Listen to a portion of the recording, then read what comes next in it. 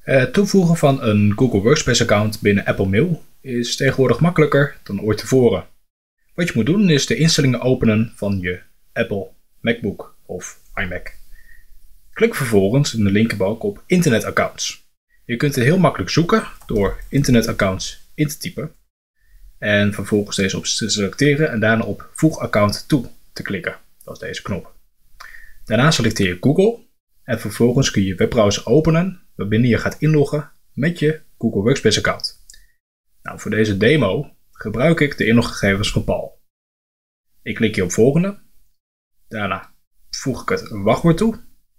En vervolgens voeg ik de twee staps verificatiecode in. Nu dat klaar is, vraagt Google mij of ik macOS wil koppelen met mijn Google-account.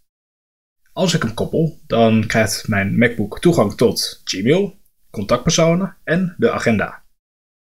Onderaan kan ik toestemming geven. Op dit moment vraagt Google of ik de mail wil synchroniseren, mijn adresboek, agenda en notities. Nou, dat wil ik. Stel je zegt van goh, ik eh, gebruik geen notities of ik heb een zakelijk account en die contactpersonen wil ik niet in mijn uh, adreslijst hebben, dan kun je deze optie bijvoorbeeld uitzetten.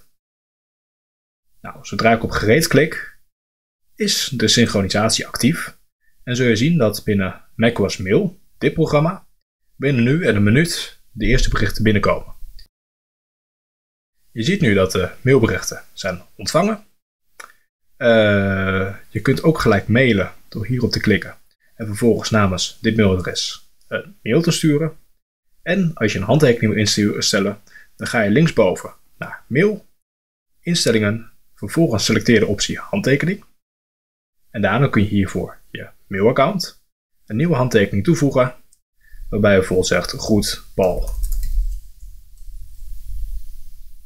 Daarna selecteer bij kieshandtekening op willekeurig, opeenvolgend, nou iets in die trend. En als dat nu sluit en ik stel een nieuwe mail op, dan zie je dat die handtekening automatisch wordt toegekend. En dat is uh, hoe je uh, je mailaccount van Google Workspace toevoegt binnen macOS 13. Nou, mocht je vragen hebben, laat het het weten in de reacties. Vond je deze video nuttig? Doe dan een duimpje omhoog.